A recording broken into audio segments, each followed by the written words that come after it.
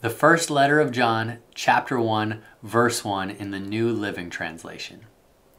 We proclaim to you the one who existed from the beginning, whom we have heard and seen. We saw him with our own eyes and touched him with our own hands. He is the word of life. This one who is life itself was revealed to us, and we have seen him. And now we testify and proclaim to you that he is the one who is eternal life. He was with the Father, and then he was revealed to us. We proclaim to you what we ourselves have actually seen and heard so that you may have fellowship with us. And our fellowship is with the Father and with his Son, Jesus Christ. We are writing these things so that you may fully share our joy. This is the message we heard from Jesus and now declare to you God is light, and there is no darkness in him at all. So we are lying if we say we have fellowship with God, but go on living in spiritual darkness. We are not practicing the truth. But if we are living in the light, as God is in the light, then we have fellowship with each other. And the blood of Jesus, his Son, cleanses us from all sin. If we claim we have no sin, we are only fooling ourselves and not living in the truth. But if we confess our sins to him, he is faithful and just to forgive our sins and to cleanse us from all wickedness. If we claim we have not sinned, we are calling God a liar and showing that his word has no place in our hearts. Chapter 2. My dear children, I am writing this to you so that you will not sin. But if anyone does sin, we have an advocate who pleads our case before the Father. He is Jesus Christ, the one who is truly righteous. He himself is the sacrifice that atones for our sins, and not only our sins, but the sins of all the world. And we can be sure that we know him if we obey his commandments. If someone claims, I know God, but doesn't obey God's commandments, that person is a liar and is not living in the truth. But those who obey God's word truly show how completely they love him. That is how we know we are living in him. Those who say they live in God should live their lives as Jesus did. Dear friends, I am not writing a new commandment for you, rather, it is an old one you have had from the very beginning.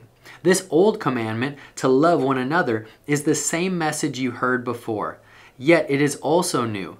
Jesus lived the truth of this commandment, and you also are living it, for the darkness is disappearing and the true light is already shining. If anyone claims, I am living in the light, but hates a fellow believer, that person is still living in the darkness. Anyone who loves a fellow believer is living in the light and does not cause others to stumble but anyone who hates a fellow believer is still living and walking in darkness. Such a person does not know the way to go, having been blinded by the darkness. I am writing to you who are God's children, because your sins have been forgiven through Jesus. I am writing to you who are mature in your faith, because you know Christ who existed from the beginning.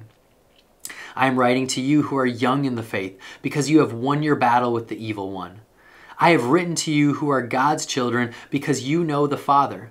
I have written to you who are mature in the faith because you know Christ, who existed from the beginning. I have written to you who are young in the faith because you are strong.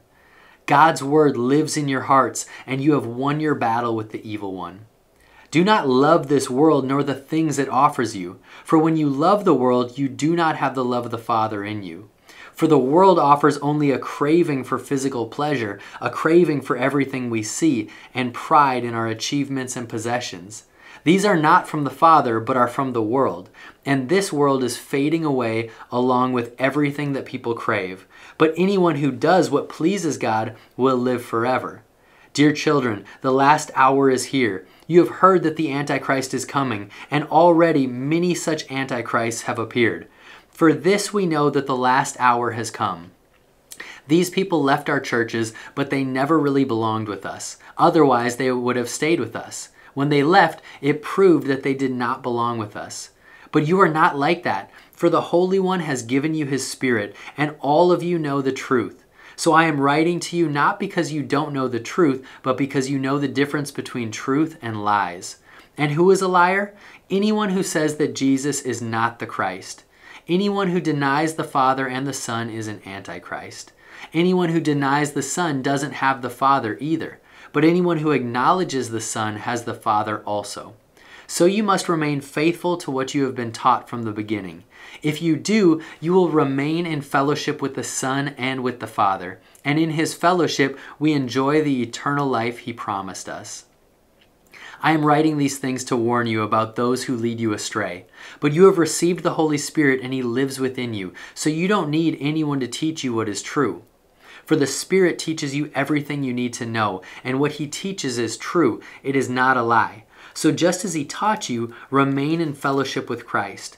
And now, dear children, remain in fellowship with Christ so that when he returns, you will be full of courage and not shrink back from him in shame.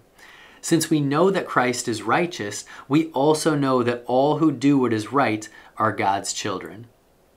Chapter 3 See how very much our Father loves us, for he calls us his children, and that is what we are. But the people who belong to this world don't recognize that we are God's children because they don't know him. Dear friends, we are already God's children, but He has not yet shown us what we will be like when Christ appears. But we do know that we will be like him, for we will see him as he really is.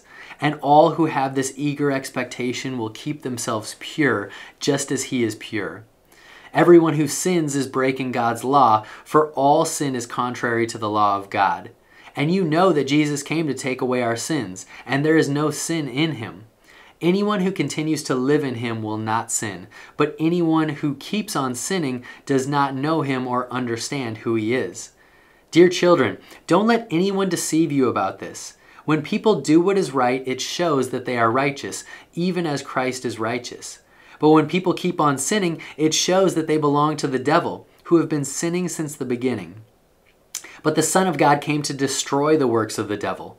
Those who have been born into God's family do not make a practice of sinning, because God's life is in them. So they can't keep on sinning, because they are children of God. So now we can tell who are children of God and who are children of the devil. Anyone who does not live righteously and does not love other believers does not belong to God. This is the message you have heard from the beginning. We should love one another. We must not be like Cain, who belonged to the evil one and killed his brother.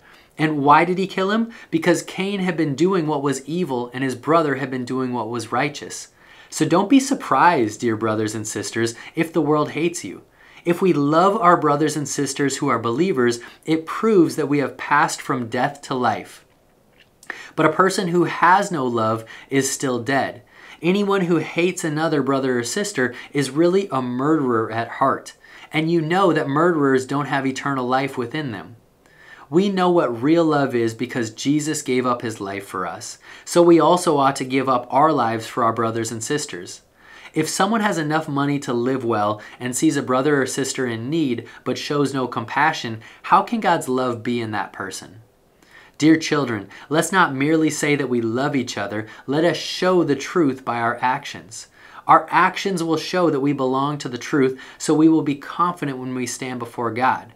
Even if we feel guilty, God is greater than our feelings and He knows everything. Dear friends, if we don't feel guilty, we can come to God with bold confidence, and we will receive from Him whatever we ask because we obey Him and do the things that please Him.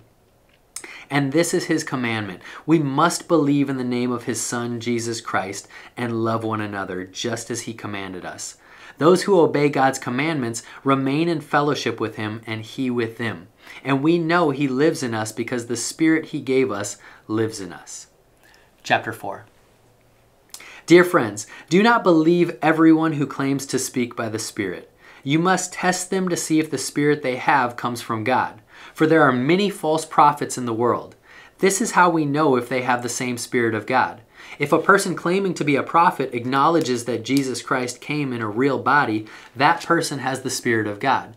But if someone claims to be a prophet and does not acknowledge the truth about Jesus, that person is not from God. Such a person has the spirit of the Antichrist, which you heard is coming into the world and indeed is already here. But you belong to God, my dear children. You have already won a victory over those people because the spirit who lives in you is greater than the spirit who lives in the world. Those people belong to this world, so they speak from the world's viewpoint, and the world listens to them. But we belong to God, and those who know God listen to us. If they do not belong to God, they do not listen to us. That is how we know if someone has the spirit of truth or the spirit of deception. Dear friends, let us continue to love one another, for love comes from God. Anyone who loves is a child of God and knows God, but anyone who does not love does not know God, for God is love.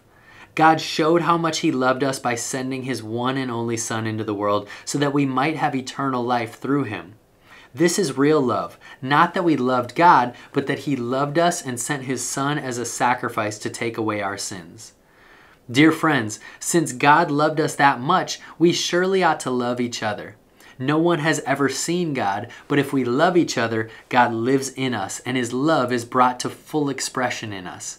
And God has given us His Spirit as proof that we live in Him and He in us.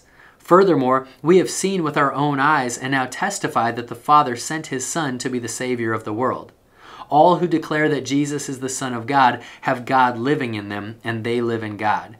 And we know how much God loves us, and we have put our trust in his love.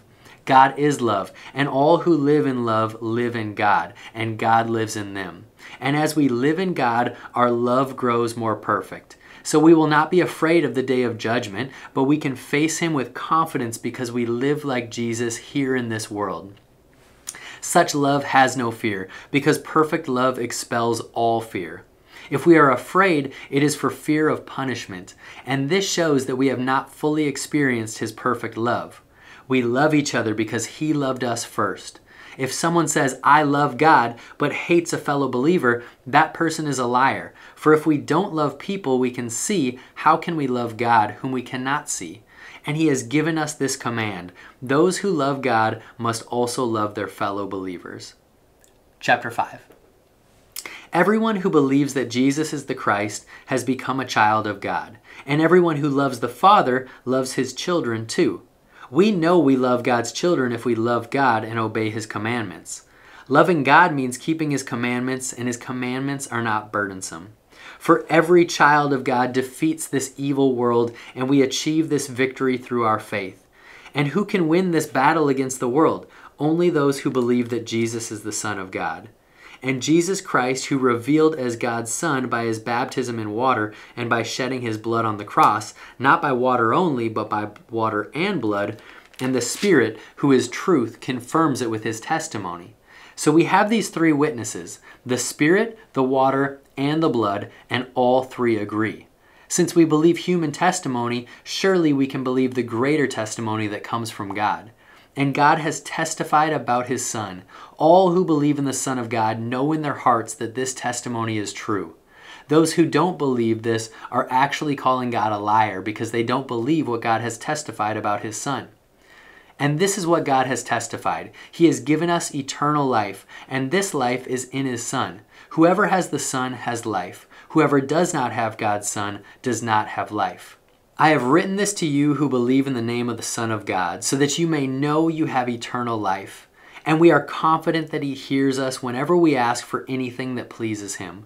And since we know He hears us when we make our requests, we also know that He will give us what we ask for. If you see a fellow believer sinning in a way that does not lead to death, you should pray, and God will give that person life. But there is a sin that leads to death, and I am not saying you should pray for those who commit it. All wicked actions are sin, but not every sin leads to death. We know that God's children do not make a practice of sinning, for God's Son holds them securely, and the evil one cannot touch them.